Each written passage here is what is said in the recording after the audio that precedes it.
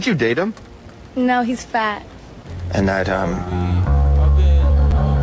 Much hurt. stronger. you know? And I think that just, that flipped the switch in me where I was like, okay, you, watch this,